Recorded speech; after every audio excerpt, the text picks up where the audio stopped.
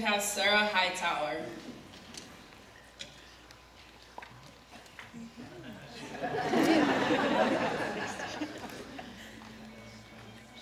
An American heroine is a woman who works hard and takes a courageous position. She makes sacrifices for people without a voice. What is most important about an American heroine is the fact that women have different perspectives than men.